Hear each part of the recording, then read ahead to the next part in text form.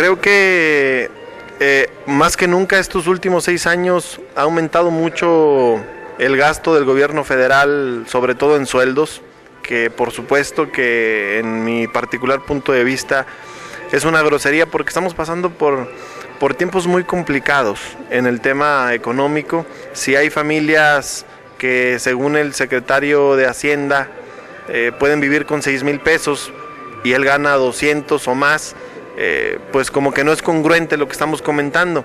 Sin embargo, creo que es parte de la, de la nueva reestructuración que se tiene que hacer. El día de mañana habrá un foro aquí en Durango sobre la reforma política, que ahí se tendrán que ver algunos de estos temas. El día de ayer en medios nacionales había debates entre los partidos políticos con sus posiciones y uno de los temas que se tocaba era este, de cómo ha aumentado el presupuesto del gobierno federal en gasto corriente, en medios de comunicación y por supuesto en sueldos de secretarios. Eh, a eso vamos a buscar nosotros en el 2012, estamos haciendo nuestra plataforma electoral para eh, que por supuesto en esa plataforma tendrá mucho que ver con estos temas que estamos tratando el día de recortar los sueldos entonces?